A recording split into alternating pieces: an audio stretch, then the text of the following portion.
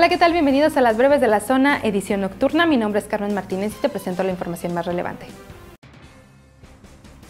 Por los riesgos que implica movilizarse en motocicleta, diputados de la Comisión de Seguridad Pública y Comunicaciones contemplan seriamente prohibir el traslado de menores en estos vehículos. Si esto ocurre, Guanajuato estaría adoptando la reglamentación que actualmente aplica la Ciudad de México en este sentido, ya que en esta ciudad está prohibido que menores de 12 años puedan viajar en motocicleta.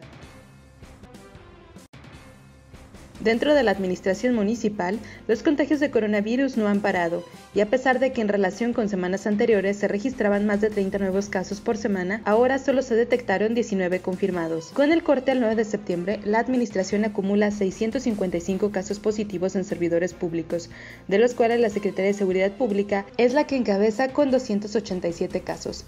La dependencia que le sigue en casos acumulados es la Tesorería Municipal con 46, así como Desarrollo Social con 28. Celaya es el epicentro del COVID-19 en la región, quizá al ser el centro del corredor industrial entre Paso el Alto y Villagrán, donde implica una importante movilidad y con ello el viaje del coronavirus. En las últimas 24 horas, Celaya volvió a marcar un repunte con 41 nuevos casos, solo detrás de León que tuvo 100, además de otras defunciones que ponen al municipio con 249 durante la pandemia.